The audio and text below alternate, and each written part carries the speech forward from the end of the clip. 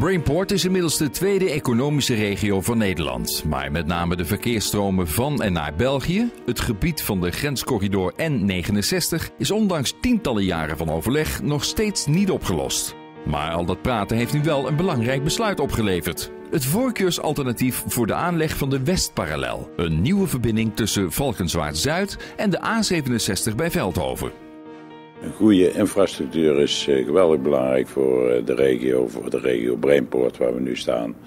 Want uh, uiteindelijk moet de infrastructuur moet alle onze producten vervoeren en brengen naar de klant. Wij verwachten dat ASML nog verder gaat groeien, dat verwachten ze zelf met name. Maar ook wij als ziekenhuis gaan sterk groeien.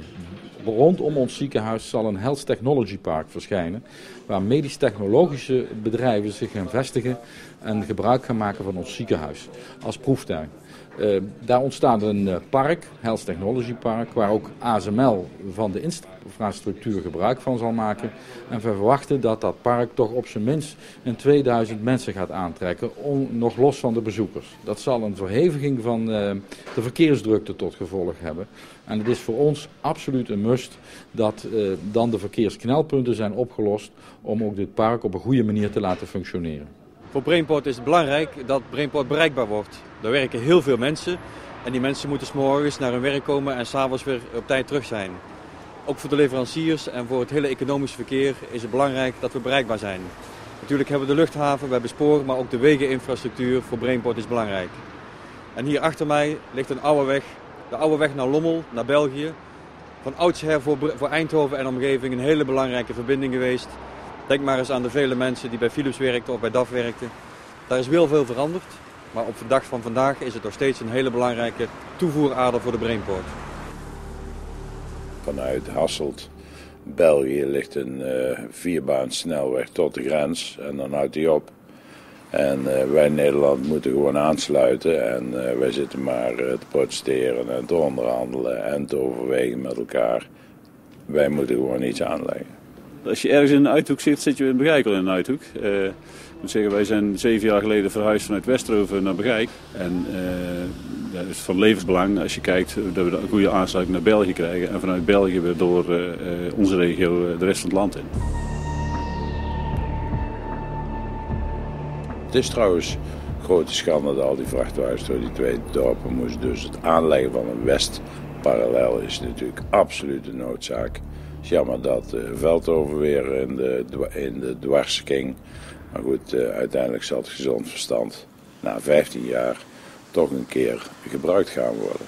De N69 die zal uh, voor een deel een oplossing gaan bieden voor dit probleem. Omdat straks deze Westparallel aansluiting zal vinden op de A67... zal ons ziekenhuis veel beter bereikbaar worden van de andere kant dan nu het geval is.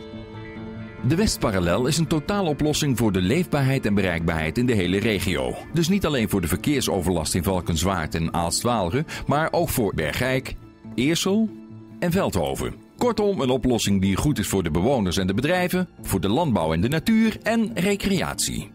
De N69 moet worden aangepakt omdat die dwars door Valkenswaard gaat en dwars door Aalst gaat. Een internationale verbinding door twee dorpskernen, dat kan niet meer. Je levert veel files op, veel vertraging. Ook veel economische schade voor de winkeliers en de leveranciers in Valkenswaard en Aalst zelf. Dus we willen graag een nieuwe verbinding maken vanaf de Belgische grens. Die om Valkenswaard heen rechtstreeks naar de A67 aansluit.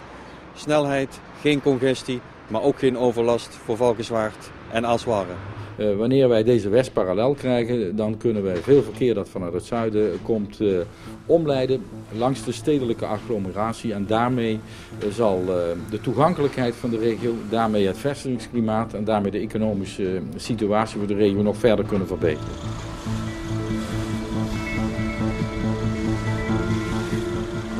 Geld is voor mij moeilijk te, te, zeggen, moet ik zeggen. Maar ik denk dat als je in uren is het gigantisch uh, aantal uren per jaar.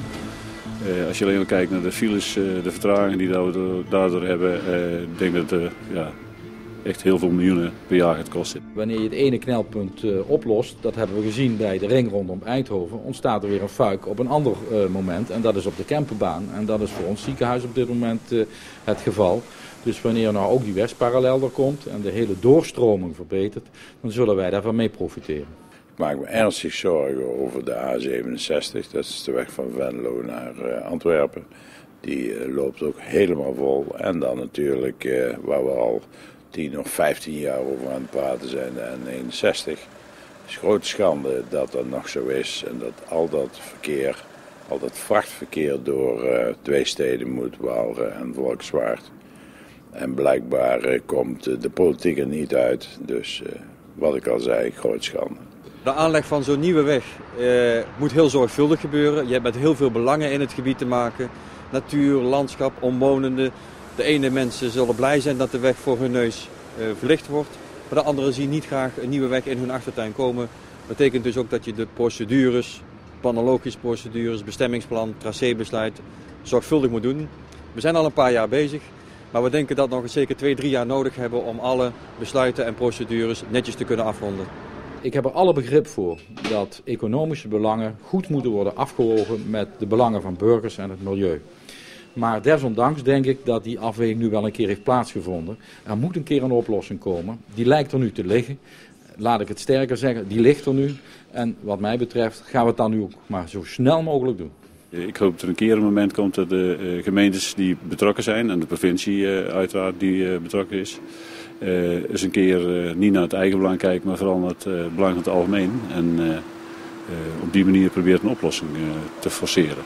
Ja, dus die stap, de, de stap B, om het zo te zeggen, die zal nu gemaakt moeten worden. En de kans is er nu. als je nu niet gemaakt wordt, dan zijn we echt weer terug bij af, denk ik. En dat zou desastreus zijn voor de regionale economie. Uh, gewoon heel simpel sneller besluiten en aanleggen. Het bedrijfsleven zal graag met ons de tempo hoger willen hebben. Maar nogmaals, haastige spoed kan ook zelden goed zijn. We zijn er eenmaal gebonden dat het netjes en zorgvuldig gebeurt. We moeten ook iedereen de kans geven om zich daar wel over uit te spreken. We hebben ook gezien dat de ondernemers steeds hun belangen goed naar voren brengen. De Kamer van Koophandel zit bij ons aan tafel. De ondernemersverenigingen willen we erbij betrekken. Ook als we over een jaar moeten kijken waar de weg nou precies komt te liggen. Nu weten we het op hoofdlijnen, maar hij zal straks precies zijn tracé moeten kennen. En dan hebben we ook dan de kennis van het gebied en de belangen goed nodig.